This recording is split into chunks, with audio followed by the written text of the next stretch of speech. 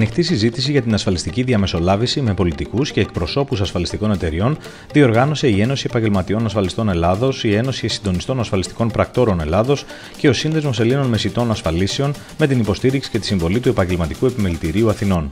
Η εκδήλωση πραγματοποιήθηκε στο αμφιθέατρο της Εθνικής Πινακοθήκης, όπου μέσα από δύο θεματικά πάνελ αναδείχθηκε η αξία και η συμβολή της ασφαλιστικής διαμεσολάβησης στην ανάπτυξη της αγοράς και της χώρας. Ο κ. Παναγιώτης Τσακλόγλου από τη Νέα Δημοκρατία, η κυρία Έφη Αξιόγλου από τον ΣΥΡΙΖΑ και ο κ. Παύλος Χριστίδης από το Πασό Κινάλ απάντησαν σε ερωτήσεις εκπροσώπων της ασφαλιστικής διαμεσολάβησης στο πρώτο πάνελ που συντόνισε ο δημοσιογράφος Κώστας Λασκαράτος. Στη συνέχεια η συζήτηση συνεχίστηκε με τον κύριο Ιωάννη Καντόρο από την Inter American, τον κύριο Πάνο Δημητρίου από την General, τον κύριο Χρήστο Γεωργακόπουλο από την Allianz Ευρωπαϊκή Πίστη, τον κύριο Δημήτρη Ζορμπά από τη Συνεταιριστική Ασφαλιστική και τον κύριο Νίκο Ζάχο από την NP Ασφαλιστική, στο δεύτερο πάνελ με συντονιστή τον δημοσιογράφο κύριο Βερμισό. Ιδιαίτερο ενδιαφέρον είχε και η άποψη των ασφαλιστών για την εξαγγελία του Πρωθυπουργού για μείωση 10% του ένφια σε κάθε νέα κατοικία που ασφαλίζεται έναντι φυσικών καταστροφών, όπως μας δήλωσαν στην κάμερα του Nextdeal στο περιθώριο της εκδήλωσης. Ξεκινώ από τη δήλωση του Πρωθυπουργού, η οποία ήταν προς σωστή κατεύθυνση. Ήταν ένα αίτημα και θυμίζω, κύριε Σπύριο, το 2019 ήταν μια απόφαση της συνδιάσκεψης των ασφαλιστών την πανελλαδική. Άρα είναι σωστή κατεύθυνση ασφαλώς και περιμέναμε πολύ μεγαλύτερο ποσοστό. Σας θυμίζω ότι πριν από ένα μήνα επισκεφτήκαμε τον κύριο Στυλιανίδη και είχαμε ζητήσει αυτό το ποσοστό να είναι στο 30%. Παρ' όλα αυτά, ανοίγει ένα καινούριο δρόμο και είναι πολύ θετικό για την αγορά. Σήμερα έχουμε τους πολιτικούς και τις ασφαλιστικές εταιρείες. Κρίναμε λίγο πριν τις εκλογές ότι θα ήταν καλό τα πολιτικά κόμματα να μας πούν τι σκέφτονται για την ιδιωτική ασφάλιση, τι σκέφτονται για την αγορά, ποιες είναι οι πρωτοβουλίες που θα πάρουν και οι ασφαλιστικές εταιρείες πώς θα συνδράμουν ώστε να καταφέρουμε αυτό που ζητάμε όλοι. Δηλαδή το 2% που έχουμε κολλήσει τα τελευταία 30 χρόνια να μεγαλώσει. Η άποψή μας είναι ότι αυτό δεν μπορεί να μεγαλώσει μόνο από τις προθέσεις, τις καλές των ασφαλιστών, αλλά πρέπει να υπάρξουν και νομοθετικές πρωτοβουλίες.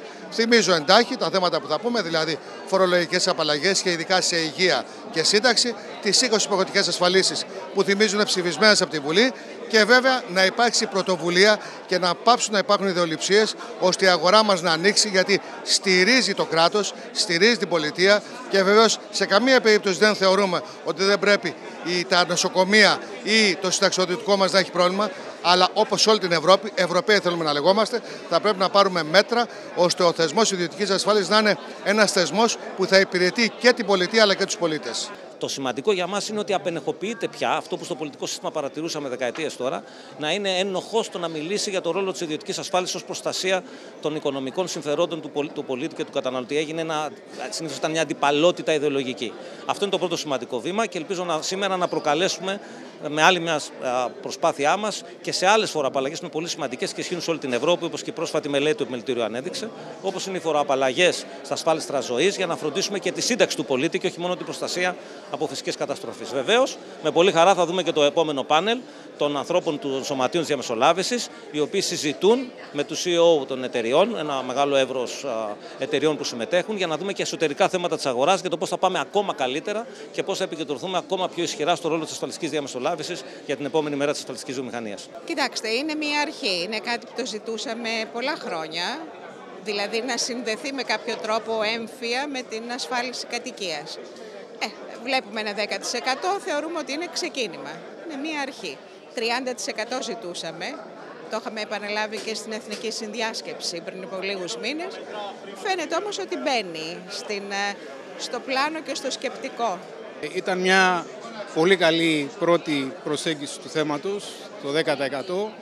Ε, ζητάμε καιρό να υπάρχουν κίνητρα για την ασφάλιση της ε, περιουσίας. Ε, είναι ένα πρώτο βήμα της πολιτείας, σαφώς πρέπει να ε, υπάρχει και συνέχεια. Σίγουρα πολλοί ακούω ότι λένε ότι το 10% δεν είναι επαρκές, αλλά είναι μια αρχή σε μια δύσκολη κατάσταση οικονομική. Το γεγονός ότι γίνεται αποδοχή από την κυβέρνηση ότι πρέπει να συνεισφέρει με κάποια κίνητρα για να δώσουμε τη δυνατότητα στον κόσμο να ασφαλίσει τις περιουσίες τους έναντι της κλιματικής αλλαγής είναι πολύ σημαντικό. Προφανώς η πάγια θέση μας είναι ότι θα πρέπει να υπάρξουν περισσότερα κίνητρα, αλλά το σημαντικότερο είναι να έρθουν και κάποια αντικίνητρα που υπάρχουν, όπως επίσης να εφαρμοστούν οι νόμοι, αναφέρομαι στον υποχρεωτικό νόμο ασφάλισης αστικών ευθυνών από το 2010, όπως και επίσης να ελεγχθούν καλύτερα τα ανασφάλιστα οχήματα. Είναι πάρα πολύ θετική η δήλωση που έκανε ο Πρωθυπουργός. Νομίζω είναι μετά από ανεπάλληλε θα έλεγα, οχλήσεις οποίες είχαμε και σαν Ένωση Ασφαλιστικών Εταιρεών ότι κάτι θα πρέπει να προχωρήσουμε στο κομμάτι αυτό και των κατοικιών αλλά και γενικά. Θεωρώ ότι είναι θετική. Περιμένουμε να συνεργαστούμε με το Υπουργείο, τα αντίστοιχα Υπουργεία τα οποία θα πρέπει να υλοποιήσουν αυτή η πρόταση του Πρωθυπουργού, έτσι ώστε να έχει και το θετικό αντίκτυπο για την κοινωνία μας, για τους ασφαλισμένους μας και γενικά για όλους τους πολίτες. Θεωρείτε ότι αυτό είναι αρκετό για να μεγαλώσει ο κλάδος; Νομίζω ότι είναι αρχή. Αλλά θα έλεγα το εξής, ότι το ίμιση έχει γίνει. Πρέπει να προχωρήσουμε. Πρέπει να προχωρήσουμε και σε άλλα, θα έλεγα, προγράμματα, τα οποία θα εξασφαλίζουν ειλικρινά την ασφάλεια των πολιτών κάτω από τις ασφαλιστικές εταιρείες. Το αποτέλεσμα του, της αναγγελίας του Πρωθυπουργού ήταν μέσα από μια προσπάθεια ετών που γίνεται από το Προεδρείο της Ένωσης. Θεωρώ ότι είναι πάρα πολύ σημαντική. Ε, όπως επίσης σημαντική ήταν και η ανακοίνωση του ε, Υπουργού Επικρατείας, ο κ. Σκέρτσου, που αφορά την έκπτωση φόρου ασφαλίστρων στα αυτοκίνητα με χρήση τηλεματικής. Όλα αυτά είναι ε, σύγχρονες εξελίξεις, είναι νέα δεδομένα στην αγορά μας που το μόνο, μόνο καλό κάνουν και πιστεύω θα συμβάλλουν στην περαιτέρω ανάπτυξη της αγοράς, στη διαφάνεια και στην πρόοδο του ασφαλιστικού επαγγέλματος. Για πρώτη φορά οφείλω να πω ότι πραγματικά είναι μια κίνηση από την πλευρά της πολιτείας η οποία καταλαβαίνει το πρόβλημα το μεγάλο και βεβαίως έπειτα από την δύσκολη περιπέτεια που ζήσανε οι Τούρκοι και έβαλε ουσιαστικά τα θεμέλια για να προχωρήσουμε σε κάτι ε, το οποίο θεωρώ ότι έπρεπε εδώ και πολλά χρόνια να είχε γίνει. Η εξαγγελία εκτεσινή ήταν ένα πολύ θετικό βήμα. Η κυβέρνηση αναγνωρίζει, η πολιτεία αναγνωρίζει την αξία της ασφάλισης και τι μπορεί να προσφέρει στους πολίτες. Είχε γίνει όντως πολύ μεγάλη προσπάθεια. Ελπίζουμε να γίνονται και άλλα τέτοια θετικά βήματα στη συνέχεια. Πρώτα απ' όλα δημιουργεί μια τάση.